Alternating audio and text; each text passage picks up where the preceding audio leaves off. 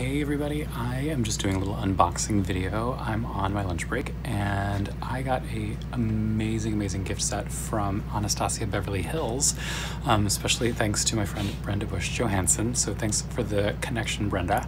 And uh, so let me show you what I got because I am so excited. I have a few products that I'm already a fan of. Um, like I had the Soft Glam palette before, but they sent me a new one. So Thank you. These are really good nudes and neutrals for um, on set, so I'm gonna get a lot of use out of that.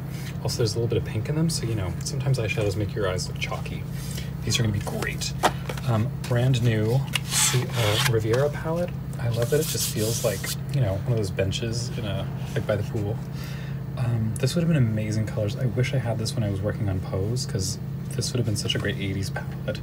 Um, excited. And, um, oh my god, the Alyssa Edwards palette from Anastasia Hills. I'm so happy. Thank you guys so much. I'm excited about this one. Um, I haven't even opened this up yet, so I'm a huge Alyssa fan. She once, Alyssa once called me gorgeous at Bushwig, and I have never forgotten that. So, ooh, okay, that's fantastic. Again, I wish I had this when I was on the team for Pose back when. So, um, gorgeous. I mean, wait, let me just try the payoff real quick.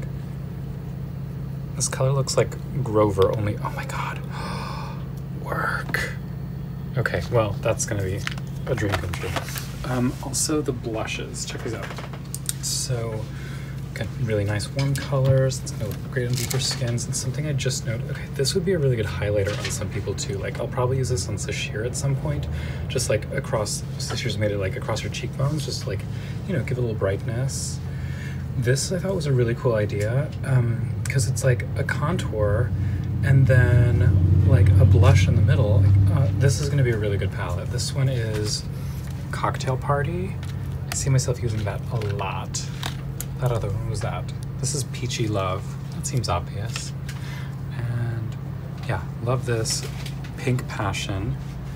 And it's the last one.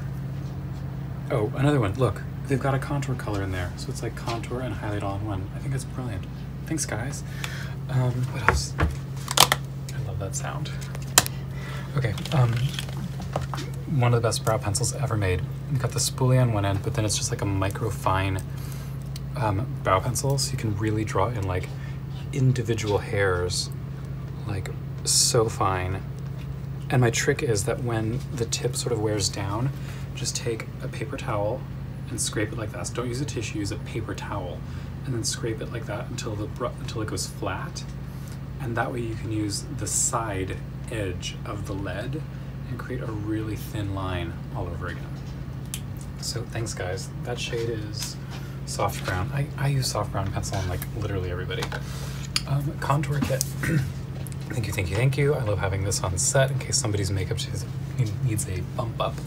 This one, I had one, but in the darker shades before, and then I was using that on the Wiz Live. So I'm excited to play with this one in the lighter shades. And I noticed this one has like an opalescent highlighter on it. So um, yeah, highlight and contour in one. Thank you so much. Um, I've never tried the Anastasia scissors before, but I noticed these are made of genuine steel, which is impressive. They're, they're heavy. And um, look at how sharp the point is on this. Like, do not put this anywhere near your eye unless you really know what you're doing, like for the brows. Um, but my friend Michael Clifton was just telling me these are amazing, so I'm gonna put these somewhere safe and uh, be glad to use them. I'll probably use them to clip apart false lashes. And then check these out. These are liquid lipsticks. Never played with these before. I'm excited to try them. Oh no, they're liquid lipsticks and glosses. So obviously I have to try the red one first. Let's see what this looks like. I love that sound, don't you? Oh, work. Look at that. That is amazing. That's almost like Ruby Woo if Ruby Woo was like in liquid form. That's fantastic. What else we got? Um, Brenda was telling me. Brenda's recording. Is it Saint Tropez? Saint Tropez. Mm -hmm. This is Brenda's favorite lip gloss. Oh, that's nice. It's kind of like an 80s color a little bit, but it's got like some gold in it and some pink, so it kind of color shifts a little bit. But this would be a really good universal color. I could use that on a lot of people. Oh yeah, hologram. I love hologram. It's like a moonbeam sort of effect. Isn't that what it's called? Moon jelly. Yeah. Clever. Clever. What else we got? Okay. Obviously iconic. So here's my thing. Obviously, like, there's a lot of brow gels out there, but the clear one is one, like, they've got one color for everybody. Amazing colors for everybody.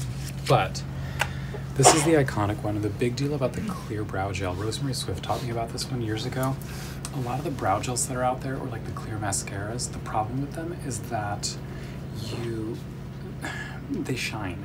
And so like if you spend all this time like drawing in extra fake hairs or filling in your brows and you take a glossy product over your eyebrow, it's only going to accentuate where you do and do not have hair. So if you're trying to create the look of a really full plush brow, then it has to be a matte brow gel.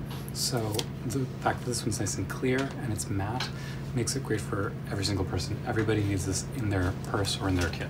Um, yeah, again, lots of really great, these are fantastic. Like color and brown one. And then this, I first got this one, I don't know when, but is something that I usually put in my set bag and I leave it there so that I have one um, when I'm working with people, and then I have it one at any given moment.